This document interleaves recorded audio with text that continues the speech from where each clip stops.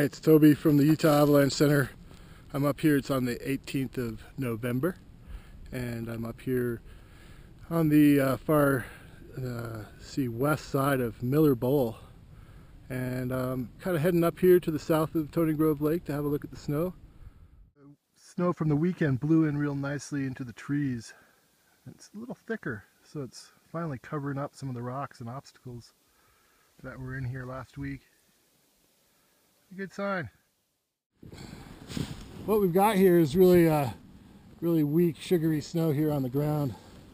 This is from the Halloween uh, cycle. You can see that's about that fist hard faceted sugary snow. and then on top of that is a slab that formed uh, uh, just with this last storm over the weekend. This is the saddle between Blind Hollow and Tony Grove Lake, south of Tony Grove Lake. Looking up here into a rock bowl, and the top there is at a 9248, 9250. Uh, you can see the rocks and stuff are still poking through. It's still quite shallow up in here.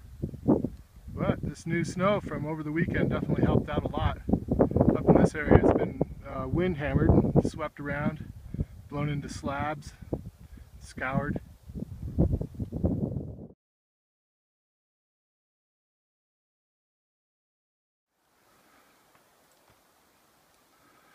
It's pretty dirty right here. Definitely been wind hammered.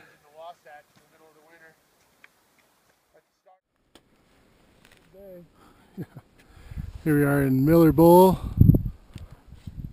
south of Tony Grove Lake. See, we're spreading out here just as per good safe travel protocol in the backcountry. There were a few areas where we triggered heart-stopping audible collapses and shooting cracks, indicating unstable snow. But overall, the snow just isn't really deep enough for slabs to propagate very far yet.